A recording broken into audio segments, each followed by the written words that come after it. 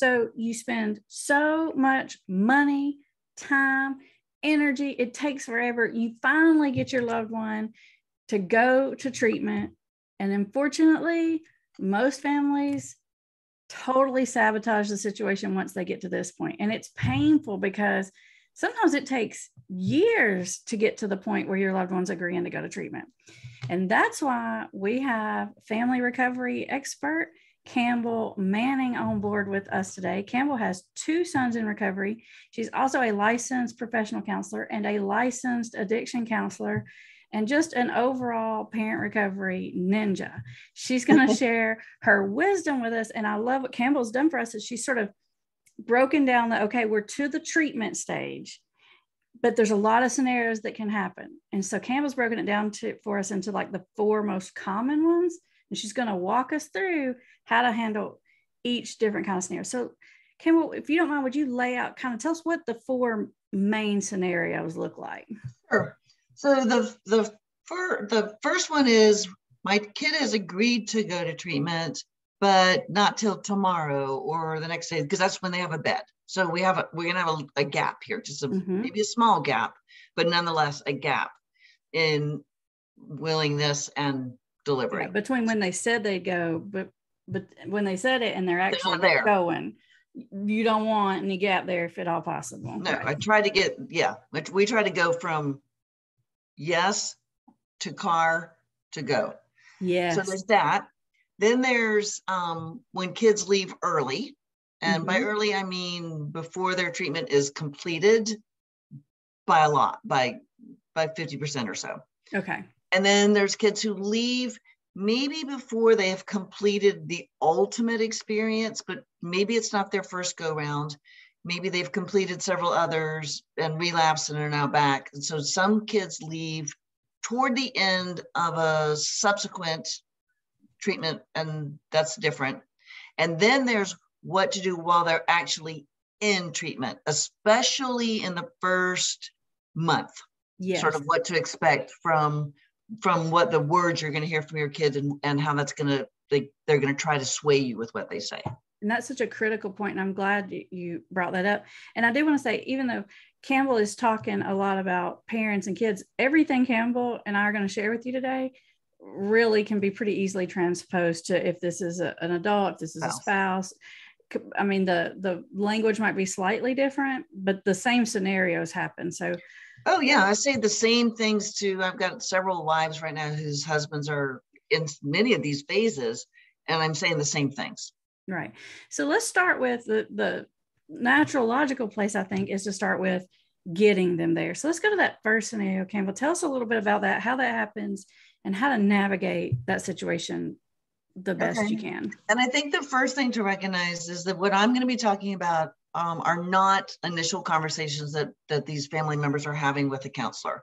So in this particular case that I'm thinking about, um, someone else in our practice has been working with this family for months and months to sort of give this kid the space to make the deals and not keep them to make the promises and and break them and for me to work with them to recognize that that's what he's doing mm-hmm. and I, I use the metaphor a lot where um, in, in, this kind of scenario is it's like catching a, a, a sailfish or a giant fish where you know you don't just feel you've got the fish on the hook and then just mm, yeah, one nibble and then throw it on the yeah. boat, right? Mm-hmm. First of all, you can't, it'll break the line. Right. So a lot of times with addiction, what we have to do is we have to let the the loved one, whether it's a spouse or a child, take the rut line away and mm-hmm. swim, swim, swim, and get tired, and then bring it in a little bit, let it out, mm-hmm. swim, swim, swim, swim, swim, which is really hard to do as a parent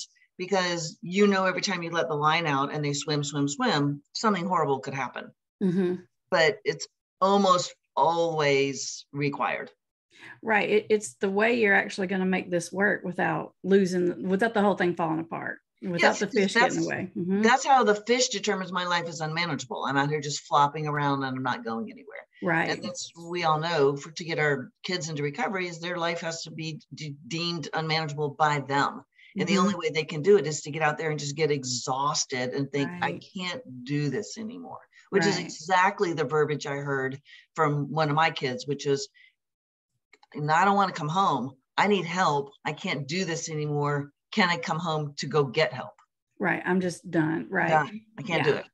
And so the scenario that you're really describing is kind of like we're past all that, like letting the reel out, like we're past all like the invisible intervention, the crap. We've you've done all that, so you've set all the right groundwork. But now we're sort of sometimes you get you get to the wall, you get to the line in the sand where you're just like, okay, like we're here. Yeah. So this is where Okay. parents are. I can't live like this anymore. This isn't working in my home. This isn't working for the family in general. So either go to treatment or find somewhere else to live or some version of that. Right. And so it like in the case we had this week is the kid was like, okay, fine, whatever, I'll go.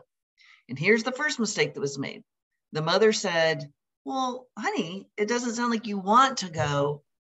And in the minute she started talking, I was like, you know what, dude, let's you and I go back into our office.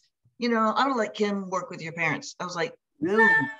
a, a whatever, a WTF, a shrug of the shoulders, that's a hard yes. And Yeah. you just run with it. And, and Amber always says it's not that they want to go, it's that they're willing to go. And so a shrug, a whatever, you win, this sucks. That's all, that's all willingness. Stop talking, go. Oh my gosh, yes. Don't don't say, are you doing it for yourself? Don't say, are you sure you're ready? If they Oh, say yes, this. Well, maybe after yes. we get a haircut and a new suitcase. mhm, Like we no, we're not going to get a haircut before we go to treatment. They have barbers there. right. Yeah. So so don't fall into that would be the first thing. Do not fall back into the trap of listening to any deals or promises. We're past that. We've we've already had the deals, we've already had the promises, but it happened this week in this session and the mom was like, "Well, maybe." And I was like, I looked at my client who's the kid and I was like, "Dude, you and I both know that." I mean, I had to like almost become his own counselor because the parents were trying to undo it. Mhm. So don't make deals. Do not cave. You have come to this point that has been very difficult to come to. It's super uncomfortable as a parent to get to this point. So don't get there if you're not ready. But when you're ready, don't backtrack. No and remember what Campbell said, this isn't your first line of defense. Like we're not, this is not our primary way of doing this. This is like last, last, this is the last line of defense. Yeah. Yeah. I think the other thing that you have to recognize at this point is that they may change their mind between now and when we go tonight or tomorrow. They may say, screw this, I'm not going. You have to hold your line, but then you have to tolerate that they may go live with a friend or, uh, you know, a Grandma family might come bail them out.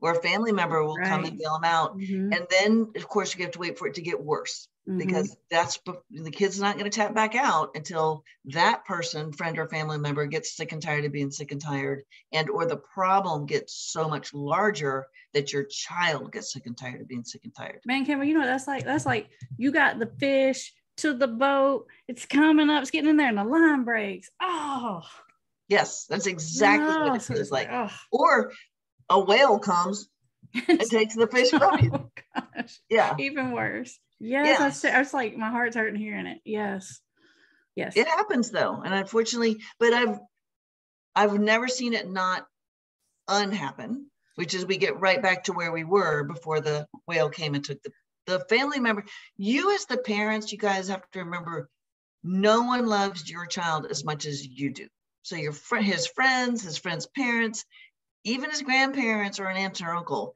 they don't love him as much as you do so they're Right. going to get to this point faster Way than you faster. did and you just do not fall back into it by trying to educate that person, trying to warn that person, trying to lecture that person. Or when they say, come get your dang gum kid, you say, uh uh-uh, yeah. I'm not coming to get my dang you kid. for it. You, You asked for it, it's yours. right.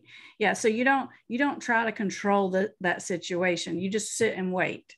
Yep. You're waiting, and waiting is different than doing nothing. It may feel like nothing, but you're not. You're strategizing. You're talking with your family recovery counselor coach. You got the plan, and you are waiting. So you're not going to miss the next moment. And you're staying on the same page hmm if you're married. With you're the other staying on the same right? page. And and it, it it I can't imagine how difficult that is to have Yeah. it have it snapped away, but it's imperative that you hold. Yes. Even if you're not married, if you can be on the same page, your problem's going to solve faster. Yep. Yeah. Yeah, Okay, so- absolutely.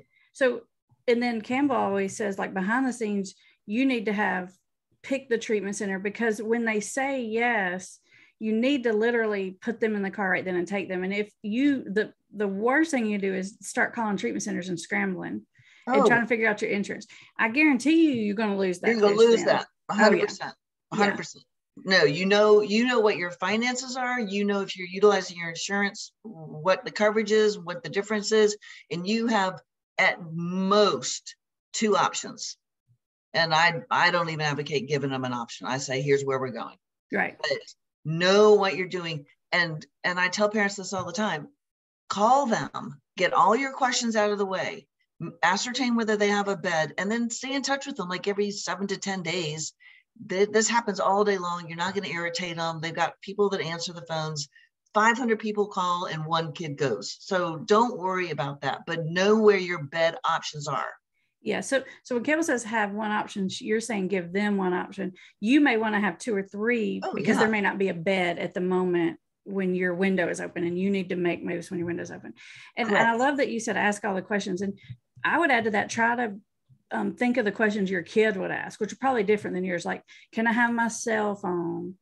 Can I have nicotine? Can I call my girlfriend? Whatever find out the answers to those because those are the roadblocks you know your kid's going to throw up and they're going to ask you be ready and you know you know your loved one you know what their roadblocks are going to be you know what they're going to ask find out the answers so you're ready But also bear in mind that unless you're, as long as your kid is 17 or older, they're going to have to call and do a five to 10 minute intake call themselves. But Mhm. I tell parents this can be happening in the car on the way. yes. And I don't care if you get on the phone and they're like, yeah, but you can't come till tomorrow morning. You get in the car and you get on the way. And you spend mm-hmm. a night in whatever town that is in, in a hotel. yes. Like don't go back home and then drive. No, like i love that. What Campbell's saying is if the bed's not open until tomorrow or maybe you got to wait two days go to the place get a hotel stay the night cross the street from the place. Yeah, don't stay at home because if you stay at be home there. you're going to have a runner You're going to have a runner. I remember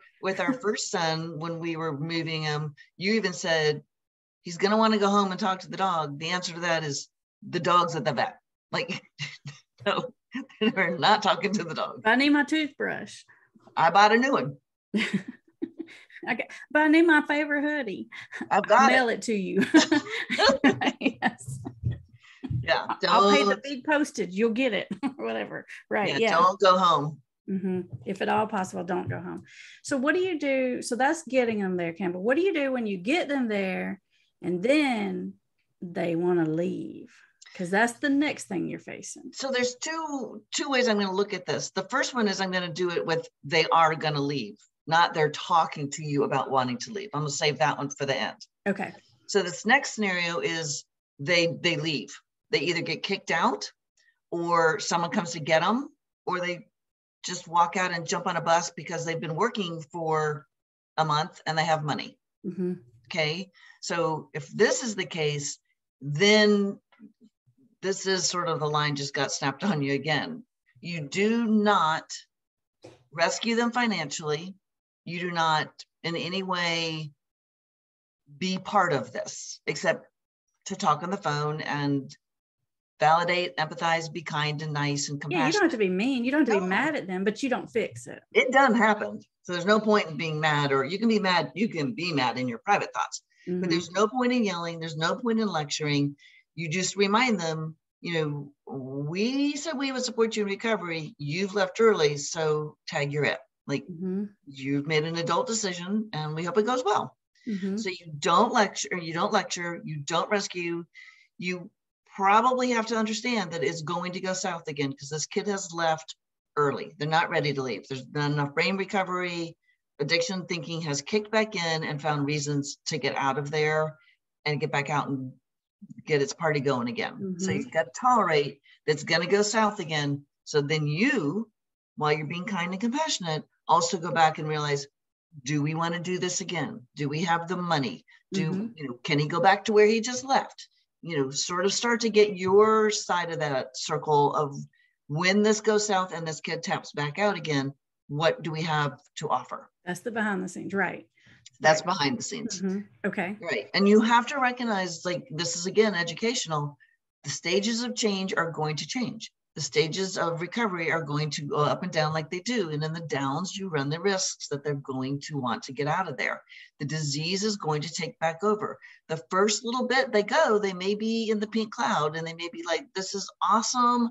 Thank God that other problem is over. I feel a sense of relief. I feel like much less shame. So that pink cloud, which is that initial big high, often does like look like it's going to sustain, but it doesn't. And you have to be prepared for that. You're, you're going to get pushback at some point while they're in Mm-hmm. treatment. Most of the time, you get it right up front that first and, and maybe even second week. If you don't get it then, it might come in the middle, right? Yep. Okay. So this scenario I'm talking about, this kid had been in treatment for probably 90, maybe even 100 days, and but was getting ready to transition to this to the bigger concentric circle outside of treatment. Mhm. And his disease kicked back in. It was like, "Mm, if I sign a lease for six to 12 months, I'm stuck in the city. I don't want to do this. You know, he started saying, well, I don't really like the people I'm supposed to live with. It was the typical argument. So he left while the parents were on a trip and they just wanted to like, when I talked to them earlier this week, they're like, well, we just want to tell him he's screwing up. And I'm like, it's over. He's there. He's already, he's already drinking. You already know that. I said, stop checking his checking account because it's just going to drive you insane. Just recognize, can he go back to where he just left? And we want this to become unmanageable. So if he's at a bar and he's going through his money, that's Mhm. not a terrible problem. right you because because what you're telling me is almost like okay they feel like the kid is relapsed but but the parents are relapsing too in this situation Mhm. right they're they're trying to go back to their old behaviors your job is not to relapse with them So that really does require not feeding catastrophic thinking. yes Okay, so yes, it's probably in this case, my my money is this is going to go south. And I told them that. I said, I do believe this is going to go south, but we're going to handle it differently. We're going to handle it calmly, we're going to handle it maturely, and we're going to mm-hmm. handle it with patience. yes right and so even though you may feel like that you're not going to communicate that to the person because You're just gonna- when you when you start telling someone they're going to fail then you've literally set it up so definitely Well, and then when they do fail, they're like, well, screw you. You never believed in me anyway. Right. That's Yeah. a good point. Right. Yeah. Okay. Yeah. Gotcha. All right. And so then the third scenario is one that um, I was telling you earlier, Amber, like when I'm having the conversation with this family this week that I've known for years, because we've gone to treatment, we've left, we've relapsed, we've gone to treatment, we've left, we left.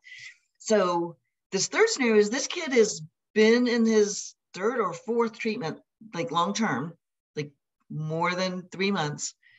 And so he's pretty treatment savvy. He does know what he's doing. He has he has a job that he really likes. He's saved enough money to pay half of a car that he just got. Wow. That's Um, huge.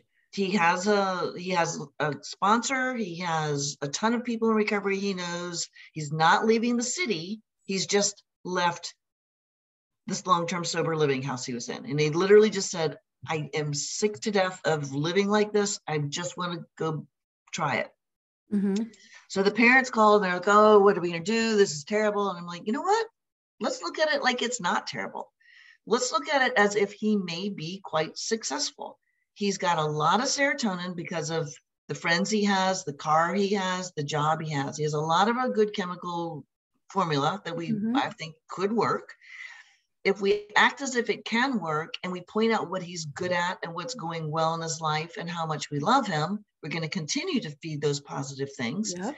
his birthday is coming up and they're like well i guess we should just cancel this trip and i'm like no he's you should go have his birthday like Yeah. we love you dearly we'll support you knowing whether you verbalize it or not which i highly recommend they didn't is they're not going to fix this financially Right. if he if he blows it and he can't pay his bills and loses they're not going to fix it but we still going to take him a birthday gift and take him out for lunch and go see i said go see his job he's so proud of it ask for a tour right. like Because this scenario might actually work out okay. The other scenario is not likely to work out okay. No. But this this person had been in treatment for for a long time, and and there's probably some legitimacy of like, okay, like I'm over this. Like, and it's gone from being a 17 year old to a 20 year old. So he's got a lot of maturity. He's grown a lot. Um, so, you know, I, I have a, I said I would give it 50 50 at the least. I might maybe even give it 70 30. Okay. Wow. Did those parents, were they like, who where's Campbell? like who exactly what the dad said. Like, exactly. am I talking to? I've known these people a while. And he goes, Where is Campbell? And what have you done with her? And I was like, I know I am actually surprising myself, but I want you to look at this in a different light so that you stay healthy and mm-hmm. you stay intact. There's no point in in everybody rushing to the bottom of the drain if it's possible that things will float around on the top for a while, if not forever. Right. And in that case, I also did remind them that even if he does you know, hang out with some people at work and maybe he he drinks a beer or hits a joint. But then he comes to the conclusion that, oh yeah, now I am starting to Jones for the Xanax again. If he comes to that conclusion, that would be a lapse with meaning that we actually applaud. Like we kind of we kind of like them when they happen.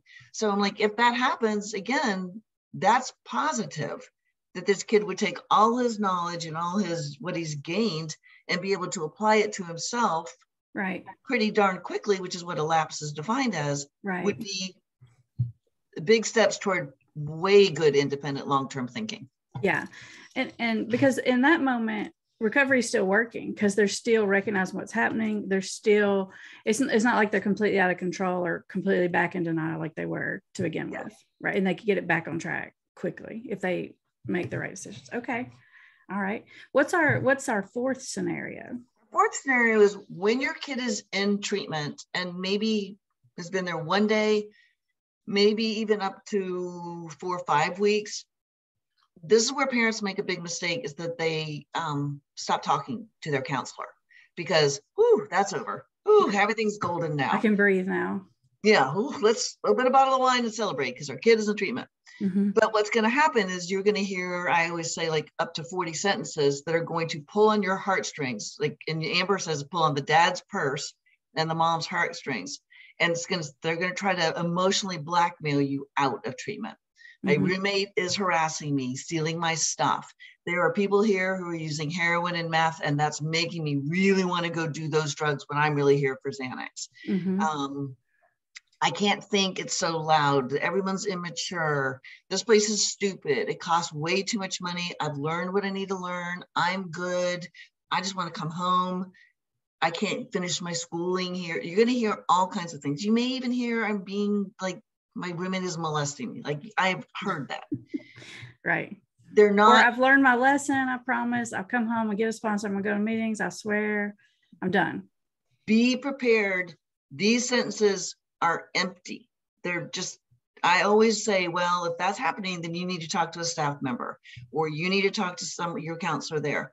Don't take it on as a parent and try to resolve, get in the middle, talk them out of it, or think, well, maybe it's true and I'm going to bring them home. If it's true, someone at the at the place is going to call you and say, right. "Hey, we have a problem." And and if your kid tells you something bad is happening at the place and you're really worried, you can oh. secretly behind the scenes not uh, do some investigation and, and find out yourself, but don't play into the conversation because chances are it's not true. Not true. Yeah, exactly. Yeah. Right. Okay. So that be prepared for that. And that's that's a lot because that's really difficult as a parent to hear some of those things and not think maybe we messed up maybe we should take him out and and there are guys there are some treatment centers that aren't great so that's what amber's point is pretty valid like call and just mm-hmm. check and if you mm-hmm. get a vibe that's gross, don't go get them and bring them home. Find another place. Right. Okay. But that's why I say do your homework up front so that you you you really know that you're sending them to a good place. Right. And when sometimes parents say, well, you know, what if they meet somebody who's on more harder drugs than they are? And, and I always say, you know what, that could happen. Oh, it's possible will. that that could happen. You know, it's possible that this might not work. But if they don't go to treatment, you can guarantee they're going to meet somebody doing hard drugs and you can guarantee that it's not going to work. Right. So, to be honest, I tell parents, like, it doesn't really matter. Your child's problem, whether it was with lifesavers, marijuana, or alcohol, led to the same set of problems that the meth or heroin addicts' problems were the same things, the same six criteria met, the same falling apart of life. So right. it doesn't really matter. Right. Right. Okay. So so there's the prepared for like all the things that they're going to sort of pull on your heartstrings to get you to come get them. Yep. Okay.